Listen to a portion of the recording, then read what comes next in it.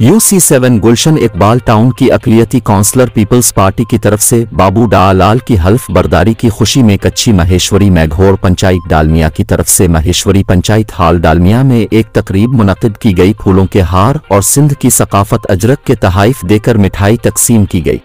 इस मौके पर महेश्वरी पंचायत डालमिया के सदर कृष्ण देव जी नायब सदर हरसी हमियर नारायण, तीजा भोजो सरहू और दीगर मेंबरान ने शिरकत की और खुशी का इजहार करते हुए पीपल्स पार्टी की क्यादत का शुक्रिया अदा किया।